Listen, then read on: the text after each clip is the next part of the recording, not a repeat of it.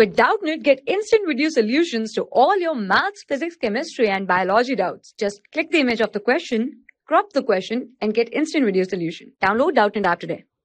Hello everyone, here in this question we have to factorize whole square of 2a plus b plus 5 into 2a plus b plus 6.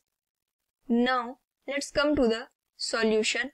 So in the question we have whole square of 2a plus b plus 5 into 2a plus b plus 6. So to solve this let 2a plus b is equals to x.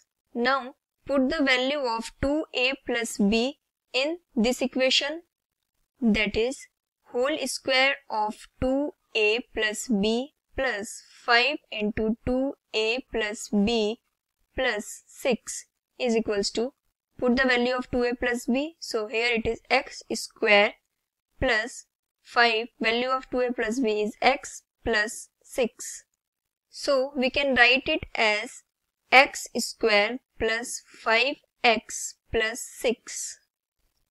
Now split 5x in such a way that if we multiply that value, so we get 6x square and if we add that value, we get 5x. So the value is 3x plus 2x because if we multiply 3x plus 2x, we get 6x square and if we add this, then we get 5x. So here x square plus 3x plus 2x plus 6.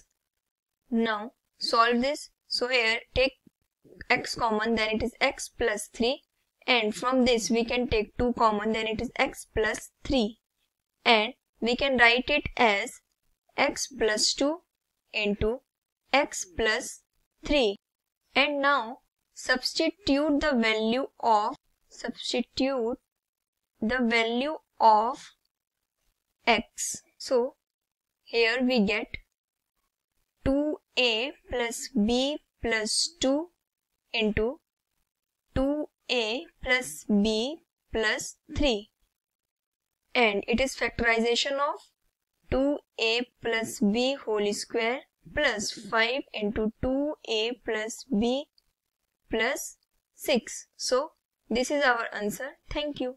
For class 6 to 12, IIT JEE and NEET level. Trusted by more than 5 crore students. Download Doubtnut app today.